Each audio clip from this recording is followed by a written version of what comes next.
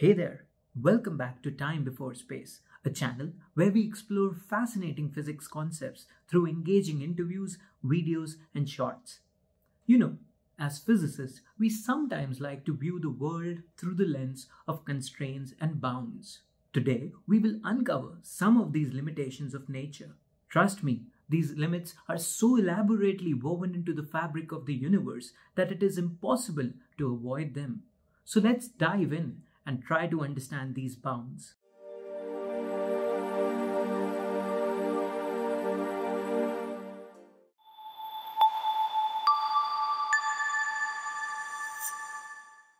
Our first physical bound brings us to the bizarre world of tiny objects like electrons, protons, atom, etc., and the weird rules that govern them. You guessed it right, I'm talking about quantum mechanics. In the world of quantum mechanics, physical properties of objects, like the energy of an object, can have only specific values which are integral multiples of some specific fundamental unit called a quantum. This means that physical properties can't just take on any value. They have to be certain multiples of this fundamental unit which cannot be divided further. If you're not familiar with this concept, don't worry, I'll break it down for you. Imagine you're dicing up some mangoes into sizable cubes, aiming to create a delicious dessert. However, just when you think that you can make these mango cubes even smaller, along comes the physicist Max Planck, disrupting your plans. He tells you that there is a limit to how tiny those mango cubes can get.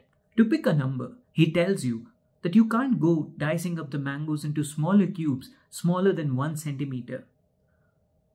Isn't that frustrating? And weird. Well, that's precisely how Planck's constant sets a bound to the smallest possible energy packet, just like your mangoes.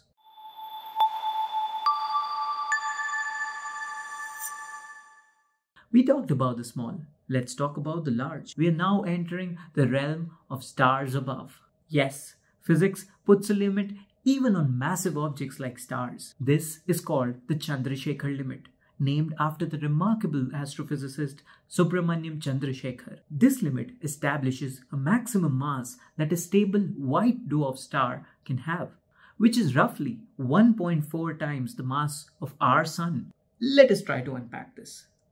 We know black holes, neutron stars, supernovae exist. We now even have images of black holes confirming this. Watch this. So you would agree with me if I say that you cannot keep on adding mass to an object without limit. You would agree that more the mass, more its gravity. So at one point in this process of adding mass to that object, its gravity will become so enormous that the object would collapse on itself. This is the crux of Chandrasekhar limit. Once a white dwarf star surpasses this limit, the inevitable happens. The star undergoes a catastrophic collapse leading to a breathtaking explosion known as a supernova.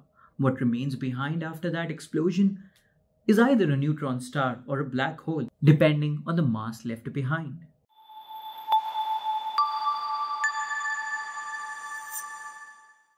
Moving on, we encounter the universal speed limit. Of all the limits in physics, the speed of light has become the most famous limit. You might recall this famous face from history, Albert Einstein. According to his theory of special relativity, nothing can travel faster than the speed of light in a vacuum. At first glance, it may seem like an engineering challenge to overcome. You might think we just need faster rockets, or there would be groundbreaking technologies in future which would allow us to surpass this limit. The truth, however, is a little disheartening. While it might appear tempting to break this barrier of the speed of light, physics even in principle, stops us from doing that. This is because light has the same speed in all reference frames. Even if you travel faster in a faster rocket, light will still have the same speed in your reference frame, and hence you will never be able to surpass it. The speed of light is a fundamental unit that profoundly influences our comprehension of space time and it imposes constraints on the speed at which matter and information can travel through the universe.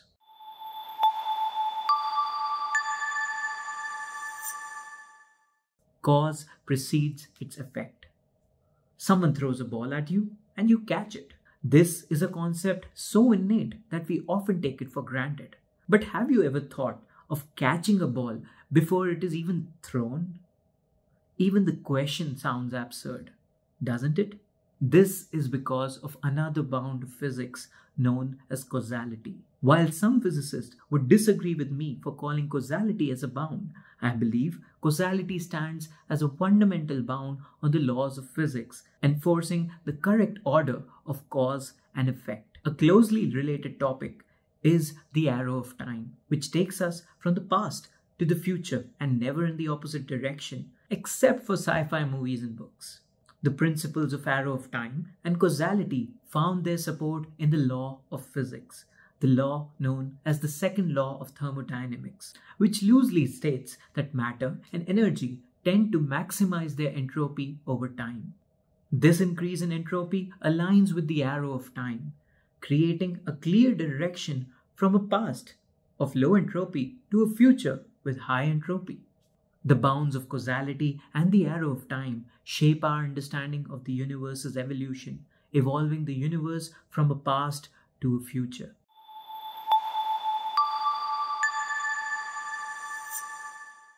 There's one another fascinating bound to explore.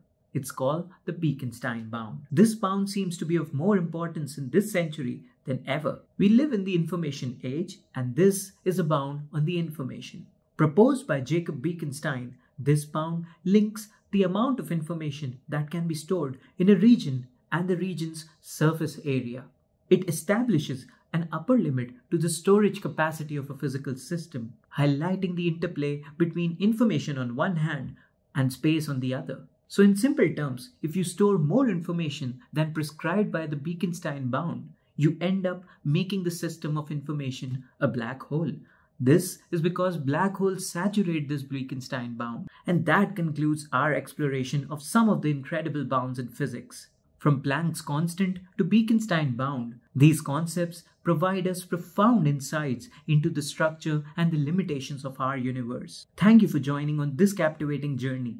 I hope you enjoyed the video on the boundaries and limitations that shape the fabric of our reality. Don't forget to like, share, and subscribe, and hit the notification bell button for more similar content. Also, let me know in your comments which other limitations of nature surprise, or excite you. Until next time, signing off, your host, Madhur. Keep exploring and stay curious.